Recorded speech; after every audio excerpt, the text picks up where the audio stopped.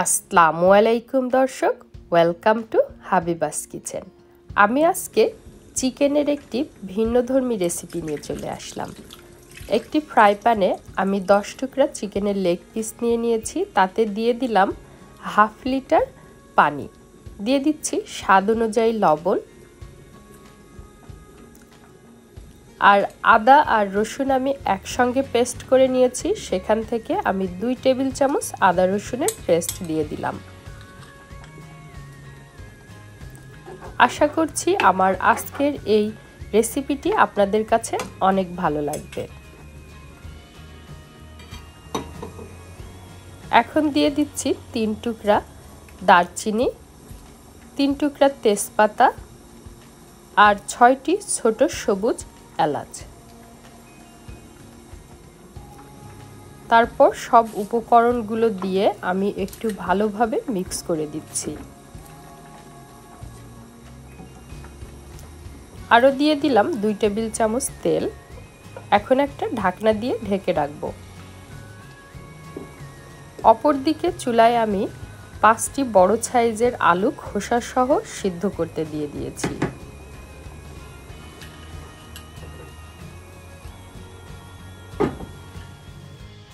চিকেনগুলোকে আমি hundred পারসেন্টই cook করে নেব। এজন্য আমি চেক করে নিচ্ছি চিকেনগুলো ভালোভাবে কুক হয়েছে কিনা। আমি প্রায় দশ মিনিট মতো চিকেনগুলোকে কুক করে নিয়েছি। আর আলুগুলো সিদ্ধ হয়ে গিয়েছে। এখন খোসা ছাড়িয়ে গরম থাকা অবস্থায় আমি আলুগুলোকে খুব ভালোভাবে ম্যাশ করে নিচ্ছি।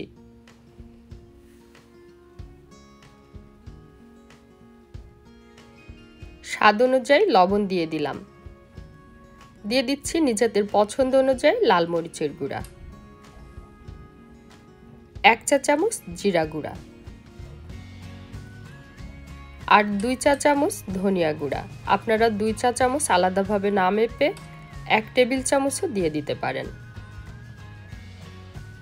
এখন দিয়ে দিব কিছুটা কালো গোলমরিচের গুঁড়া। এটা অপশনাল। আপনাদের পছন্দ হলে দিতে পারেন।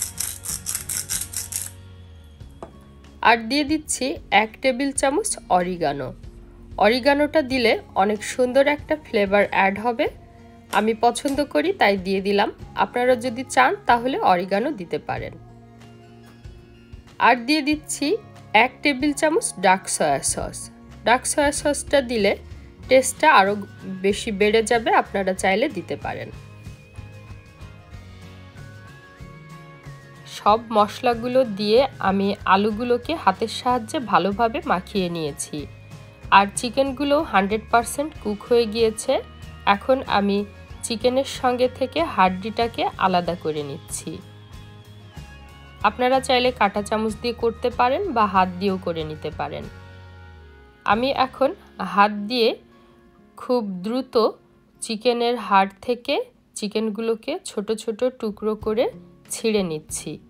আপনারা চেষ্টা করবেন যতটা সম্ভব খুব ছোট করে টুকরো করে নিতে।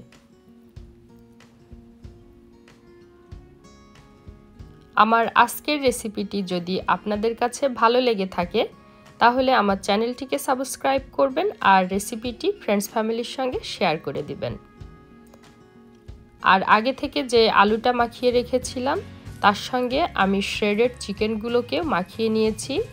এখন চিকেনের হাড়ের সঙ্গে আমি ভালোভাবে দেখতেই পাচ্ছেন আলু আর চিকেনের মিক্সচারটাকে সুন্দর করে আস্তে আস্তে করে লাগিয়ে নিচ্ছি।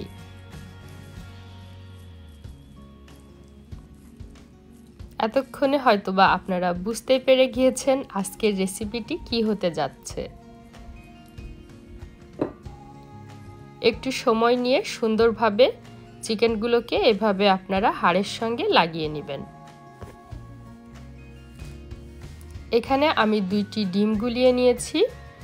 এখন ডিমের মাঝে এই চিকেনের টুকরোটাকে আমি কোটিং করে নিচ্ছি।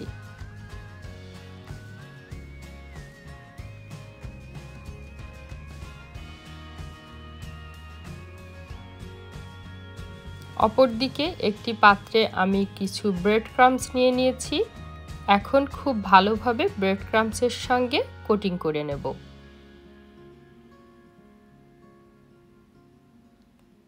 ভেজা হাতটা ইউজ না করে আপনারা শুকনা হাত দিয়ে খুব ভালোভাবে ব্রেড ক্রামস এখন চিকেনের সঙ্গে কোট করে নিতে হবে।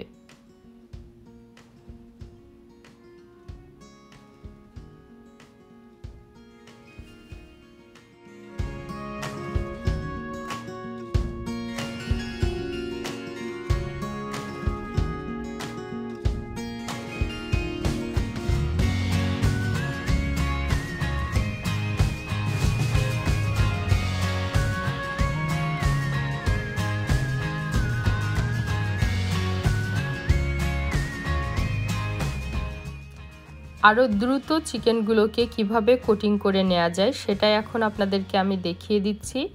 আমি প্রথমেই ডিমের মাঝে চিকেনগুলোকে কোটিং করে নিয়েছি, তারপর আমার হাতটা ড্রাই করে নিয়ে এখন আমি দুই হাতের সাহায্যে খুব ভালোভাবে চেপে চেপে চিকেন ড্রামস্টিকের সঙ্গে ব্রেড ক্রামস লাগিয়ে নিচ্ছি। যত ভালোভাবে ব্রেড ক্রামস লাগিয়ে নেওয়া যাবে, বাইরের সাইডটা খেতে তত বেশি ক্রিস্পি হবে, তাই চেষ্টা করবেন দুই তিনবার করে নিয়ে নিয়ে ব্রেড ক্রামস চিকেনের সঙ্গে লাগিয়ে নিতে। আপনারা চাইলে কিন্তু এভাবে বানিয়ে চিকেন ড্রামস্টিকগুলোকে ফ্রোজেন করেও রাখতে পারেন। তবে খুব বেশি সময় ধরে ফ্রোজেন না করাই ভালো হবে। দুই সপ্তাহ মতো জিপলক ব্যাগে আপনারা চিকেন ড্রামস্টিকগুলোকে ফ্রোজেন করতে পারেন। কেউ চাইলে বেশি দিনও করতে পারবেন, তবে এতে স্বাদটা একটু কমে যাবে।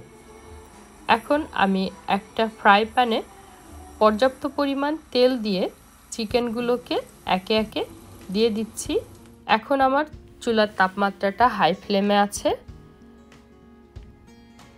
এক পাশ ভালোভাবে ভাজা হয়ে গেলে আমি হালকা হাতে চিকেনগুলোকে উল্টিয়ে দিচ্ছি।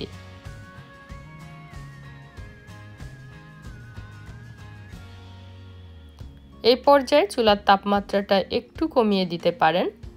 হাই আর মিডিয়ামের মাঝামাঝি রেখে আমি চিকেনগুলোকে সাত আট মিনিটের জন্য ভেজে নেব। পছন্দ অনুযায়ী কালার করে ভেজে আমি একটা প্লেটে উঠিয়ে নিচ্ছি আর প্লেটে একটা টিস্যু পেপার দিয়ে দিয়েছি। এতে করে বাড়তি তেলগুলোকে চুষে নিবে। এখন আমি পছন্দ অনুযায়ী সসের সঙ্গে সার্ভ করে নিয়েছি। আশা করছি আমার আজকের এই ক্রিস্পি চিকেন ড্রামস্টিক ফ্রাই রেসিপিটি আপনাদের কাছে ভালো লেগেছে। সবাই ভালো থাকবেন, আমাদের জন্য দোয়া করবেন। পরবর্তী রেসিপি দেখার আমন্ত্রণ জানিয়ে আজ এখানে বিদায় নিচ্ছি। আসসালামু আলাইকুম। আল্লাহ হাফেজ।